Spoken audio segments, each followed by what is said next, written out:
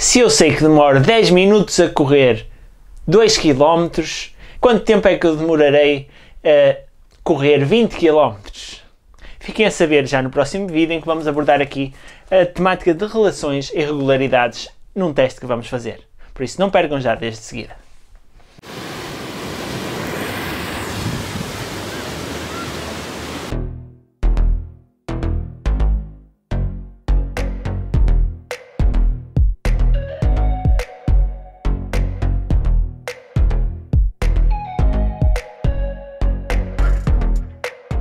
Bem-vindos aqui a mais um vídeo de matemática do sexto ano e no dia de hoje nós vamos abordar aqui, um, vamos fazer aliás uma ficha de avaliação aqui do tema 3 de relações e de regularidades. Vamos abordar aqui algumas escolhas múltiplas inicialmente, mas antes de abordar aqui a matéria eu queria fazer só aqui um ponto acerca destes vídeos que eu tenho, que eu tenho lançado aqui ao longo do tempo.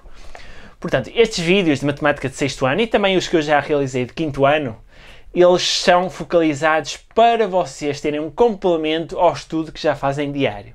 Ou seja, estes vídeos não contêm a totalidade da matéria em termos concretos, ou seja, eu, embora eu aborde todos os temas da matéria, eh, abordo aqui alguns exercícios, não são todos, não são todas as situações aplicáveis, ou seja, estes vídeos servem para vocês complementarem o estudo.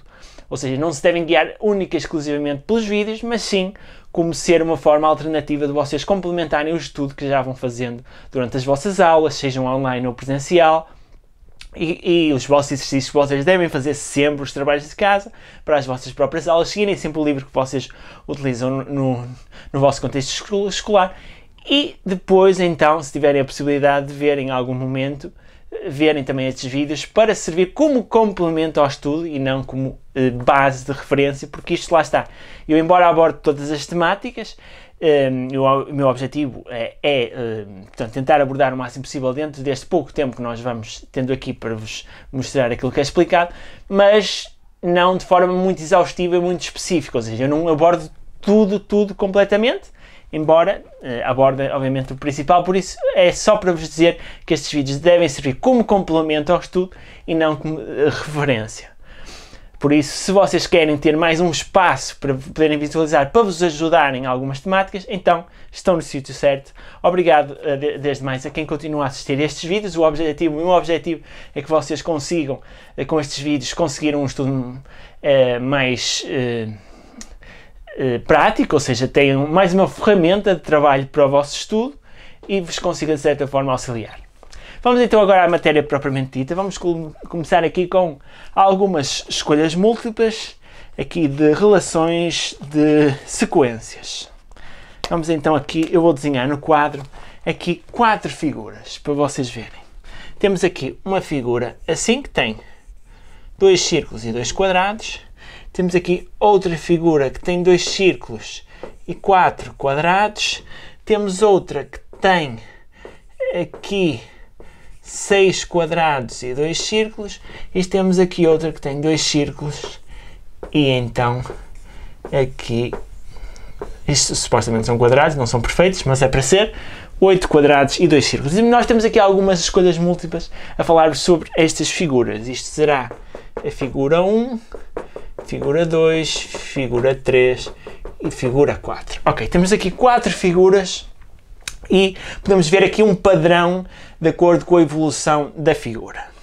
A primeira questão que nós vamos aqui falar é quantos círculos terá a figura 23? Nós temos aqui as primeiras quatro, isto continuaria e nós vemos que há aqui um padrão que segue uma certa regularidade. Ou seja, na primeira figura temos dois círculos, na segunda temos dois, na terceira temos dois, na quarta temos quatro. Quer isto dizer que daqui para a frente, todas as figuras forem construídas segundo este padrão vão ter sempre dois círculos. Isso vai ser imutável se seguirem este padrão. No entanto, ao avançar uma figura para a frente, nós vemos que acrescentam dois eh, quadrados ao avançar para a figura, ou seja, na figura seguinte vão estar mais dois, na, a seguir a essa, mais dois eh, quadrados, etc. E nós queremos saber quantos círculos terá a figura 23. Ou seja, se vamos saber que a figura 23 terá um determinado número de quadrados, ainda não abordámos isso, mas vai ter os mesmos círculos que, que estas figuras têm, porque isso é uma das condições que não muda. Ou seja, a figura 23 terá então dois círculos. Aqui 1.1 será dois círculos, que será a resposta C. Ok. Vamos aqui para a linha 1.2, que nos questiona quantos, quantos quadrados terá a figura 7. Nós poderíamos desenhar ou podemos pensar um pouco. Nós sabemos que a figura 4 tem 8 quadrados, a figura 3 tem 6, eu ao passar de 3 para 4 acrescento 2 quadrados. Então, se a 4 tem 8, a 5 teria 10, a 6 teria 12 e a 7 teria 14. Ou seja, vocês podem fazer uma análise um pouco mental, porque não é preciso propriamente desenharem a figura, podem fazer uma análise mental, analisar as figuras desenhando ou tentando fazer uma expressão para chegar ao resultado. Para já, nesta linha, vamos tentar fazer aqui uh, análise mental e ou seja, já descobrimos então que a figura 7 terá então 14 eh, quadrados. Ou seja, 4 tem 8, a 5 terá 10, a 6 terá 12 e a 7 terá então 14. Será então 14 quadrados que corresponde nada mais nada menos do que à linha B. Vamos agora ver então aqui 1.3, nós temos aqui 4 linhas, vamos ver a terceira qual será o número da figura constituída por 52 figuras geométricas. Agora, pode haver aqui uma rasteira, figuras geométricas. Ou seja, cada quadrado ou cada círculo é uma figura geométrica. Nós aqui temos quatro figuras geométricas, sendo elas dois quadrados e dois círculos. E que temos 6, temos 8, temos, temos uh, 10, etc. E nós queremos saber uh, qual será o, o número da figura constituída por 52 figuras geométricas. Ou seja, sabemos que vai ter 52 uh, eh, figuras geométricas, sabemos que duas delas vão ser círculos porque é um padrão que se repete e as restantes, as restantes 50 serão então quadrados. Isto na figura 52.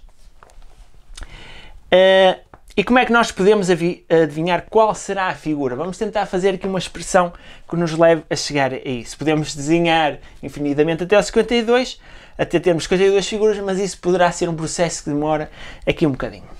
Nós sabemos que a quantidade de figuras geométricas é igual. Vamos tentar ver se conseguimos fazer aqui alguma expressão. Ao número da figura, 4, 5, 6, 7, 8, 9, 10 Uh, ou seja, sabemos que 4 tem 10 figuras geométricas, 5 terá 12, 6 terá 14. E como é que nós podemos aqui avaliar? Será a figura, o número da figura que será 4, mais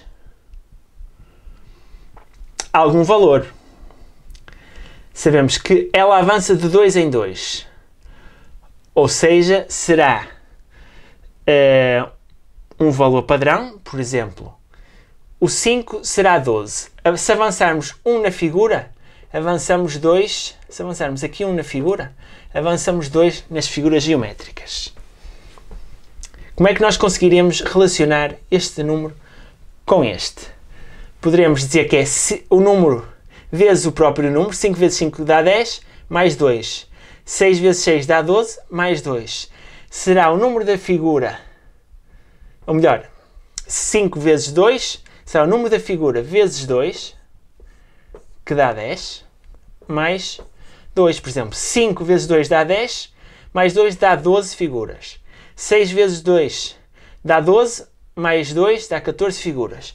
Ou seja, nós queremos saber a quantidade de figuras que são 52 é igual a f vezes 2 mais 2. Isto é uma expressão.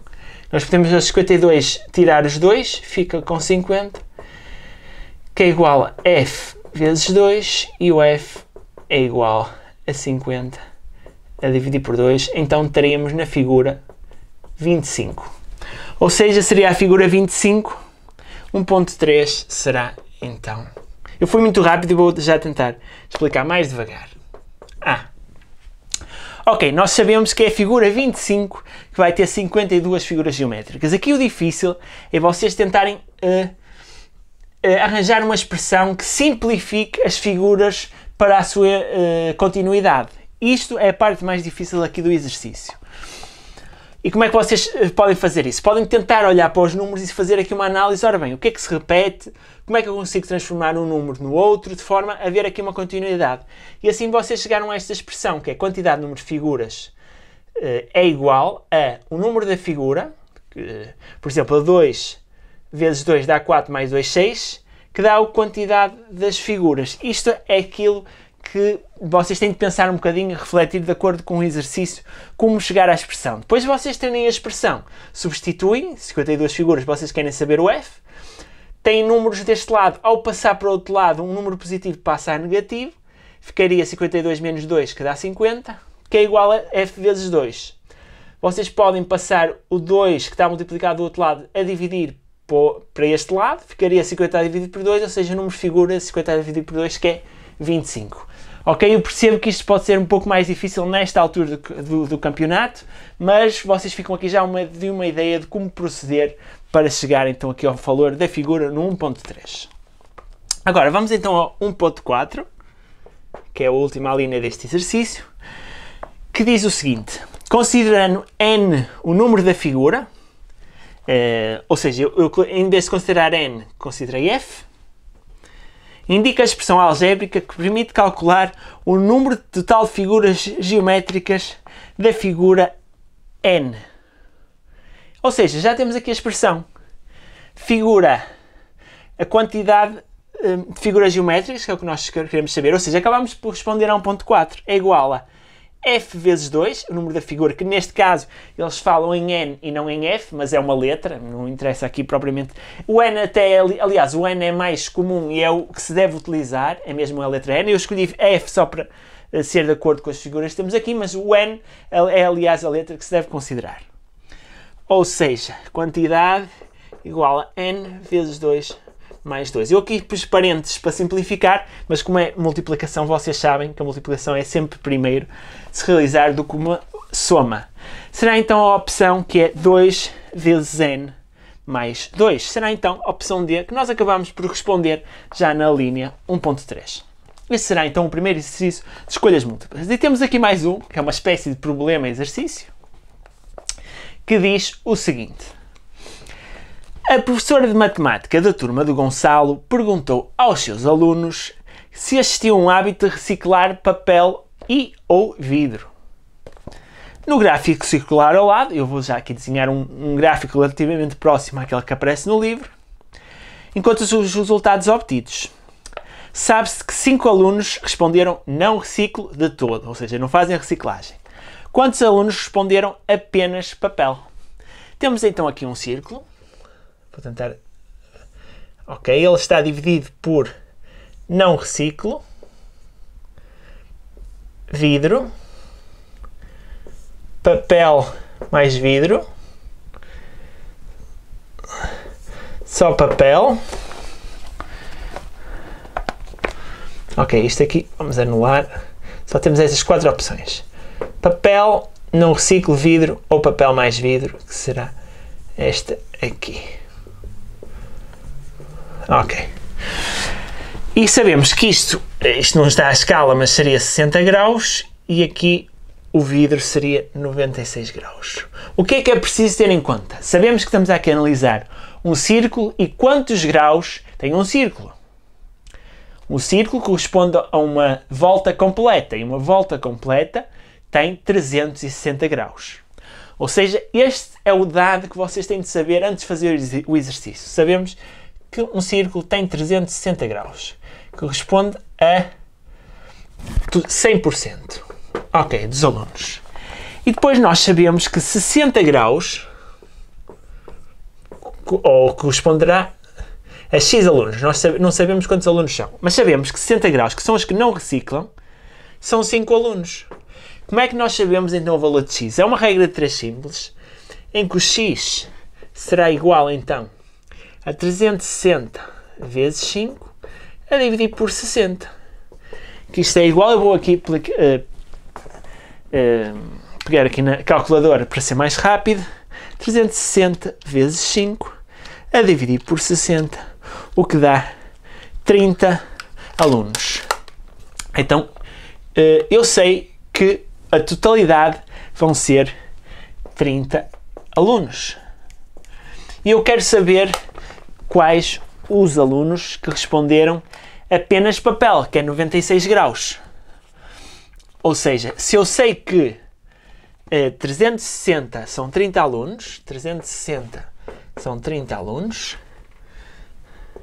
quantos alunos são 96 graus? E podemos fazer outra vez uma regra de 3 simples, x igual a 96 vezes 30 a dividir por 360, em que vamos aqui à máquina, ser mais rápido, 30 vezes 96 a dividir por 360, o que dá 8 alunos. E temos então assim a resolução aqui deste exercício, em que o x dá 80 alunos, que é a nossa resposta final a este exercício aqui eh, do teste número 1 de matemática, aqui das relações de regularidades. Haveria mais exercícios, poderíamos continuar. Vocês já sabem que nestes vídeos eu uso para cada vídeo um quadro branco, eh, preencho e vamos eh, fazendo exercícios até o quadro estar completo. Ele já está completo, já não há aqui muito por onde eu possa escrever. Por isso, por esta semana ficamos então por aqui e vemo-nos num próximo vídeo. Bons estudos, adeus!